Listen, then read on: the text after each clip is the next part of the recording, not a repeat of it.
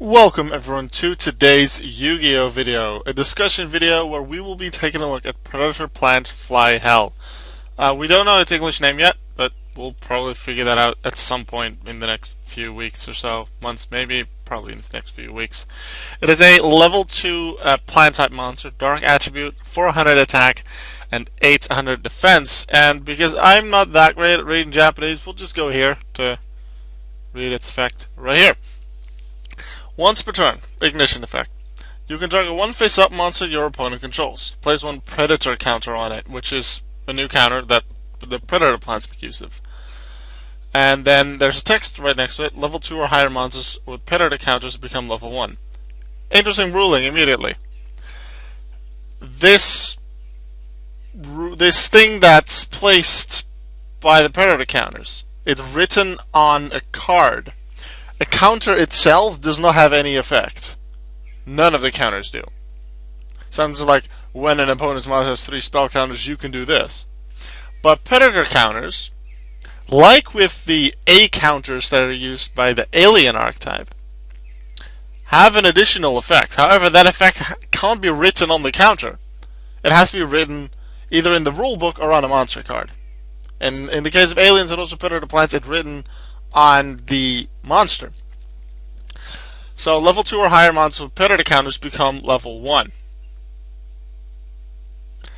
Thing is, it's written in between brackets. I'm not sure how, whether that was the case with aliens, but I'm pretty sure it needs to be a predator um, plant, like Fly Hell, face up on the field for the levels to actually change if the monster have predator counters.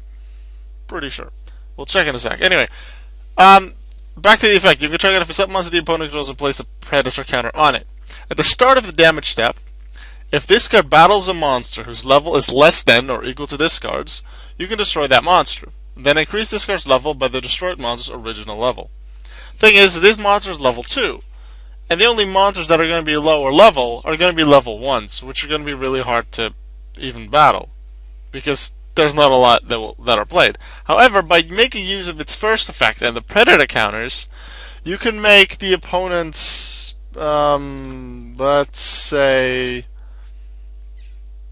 um, the Dark Magician, I use it a lot. Opponent has a Dark Magician out, you just normal summon your Predator Plant Fly Hell, activate its effect, make Dark Magician a level 1. Predator Plant Fly Hell attacks into Dark Magician, which would normally go real bad because of the difference in attack. However, at the start of the damage step, Predator Plant Fly Hell's second effect kicks in, checks Dark Magician's level, level 1, hey! Dark Magician destroyed. Then, Dark Magician's level, its original level is 7. On the field it was level 1, due to Fly Hell's effect, but its original level, as written on the card, is 7. Therefore, Fly Hell's level would increase from 2 to 2 plus 7 equals 9. It would become level 9. How you would really make use of that increase in level, I'm not really sure. I suppose that would make it easier to if you had just have Flyhell still on the field, let's say you end your turn there after having destroyed Dark Magician, it will be hard for your opponent to then use just regular battle to beat Fly Hell. Because even if they're then able to bring out a Blue Eyes White Dragon, they're still not going to be able to battle past Fly Hell because Fly Hell at that point is level 9, and they don't need to use the first effect to be Blue Eyes using the second effect. Because Blue Eyes, level 8, is lower than Fly Hell's level, level 9. So in that sense, it can help itself survive. Um, However, it's still completely susceptible to a lot of card effects or compulsory evacuation device, um, your mirror force, um, things like that. The effect, the, the, second effect only happened, activates at the start of the damage step. Mirror force uh, start of the battle step. Like in the battle steps, uh, right after attack declaration, or at attack declaration technically. Um, so if you use something like Mirror Force, then the second effect will never apply. Therefore, your Dark Magician, or your Blue Eyes White Dragon, or whatever you have, uh, will be fine. It'll just still have a Predator counter on it. Let's just immediately check that Predator counter page. Uh, However, to apply this level changing effect, the controller must put into play a monster with an effect that specifically mentions it, as it is not an inherent condition for Predator counters. Yeah. So just like with the aliens. So you can have your predator counter, but if there's no um, monster in the field that has part of the, the part of the effect that says predator counters make them level one, then they don't make them level 1. Although this is interesting. Also, if the monster leaves the field, so let's say Fly Hell and Dark Magician again, just just like before. Fly Hell makes Dark Magician level 1. You know, like, well, place the Predator counter, makes level 1, attacks into Dark Magician. However, Dark Magician player uses Mirror Force, destroys Fly Hell. Second effect never applies, Dark Magician says in the field. However, the Predator counter is still in Dark Magician. And according to the rulings on the Predator counter, if the monster leaves the field, and this is the monster, uh, I, I, assume this is Fly Hell. Uh, I'll just read the. Once this is, however, any monsters who gain Predator counters will have their levels lowered while that monster remains for some field. Yeah. Also, if the monster, in this case Fly Hell in, in our scenario, if Fly Hell leaves the field, the levels of the monster on the field with Predator counters, Dark Magician, at the same at the time, still remain lowered.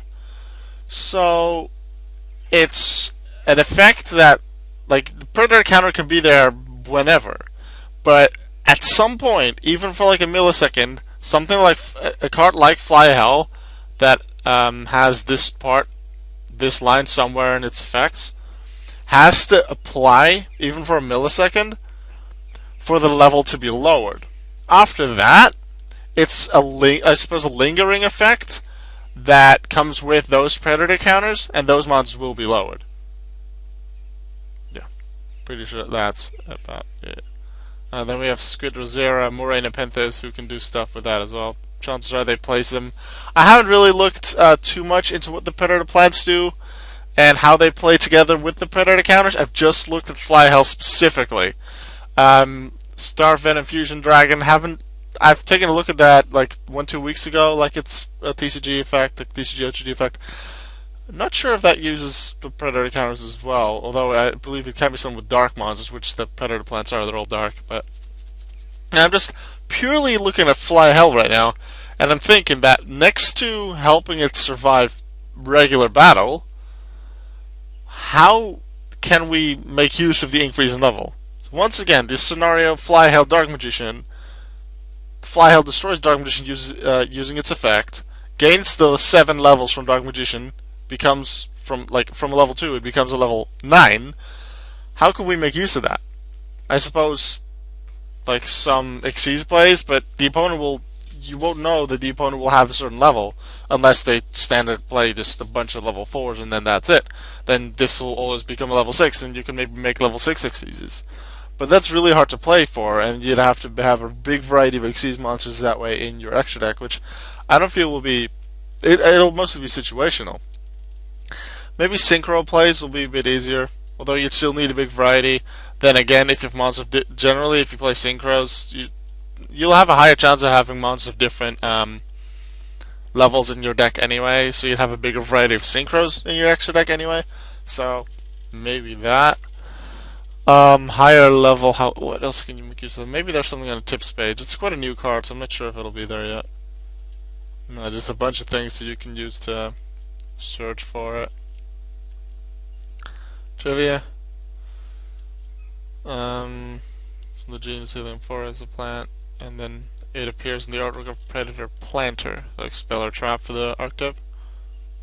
I assume something that places Predator counters. Uh, so far an anime exclusive.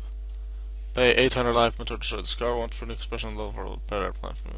No, it doesn't place the counters, but it does summon the Predator plants. Okay. Um.